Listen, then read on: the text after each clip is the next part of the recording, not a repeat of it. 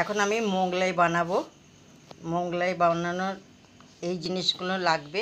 ডিম, পেঁয়াজ, আদা কুচি, রসুন কুচি, লঙ্কা কুচি। আর ময়দা মেখেছি। ময়দা মাখার পর এই যে লেচি কেটেছি। লিচি কাটা হয়ে গেছে। বড় বড় করে বেলেছি।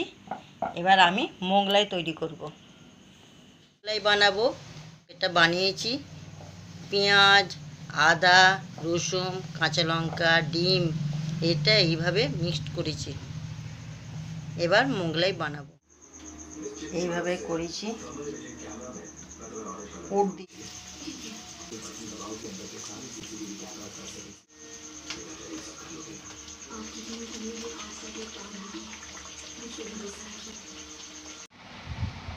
আমার মোগলাই রেডি এই মোগলাই পরিবেশন করলাম। মোগলাই তৈরি হয়ে গেছে এবার খাওয়া হবে এইভাবে তৈরি করেছি।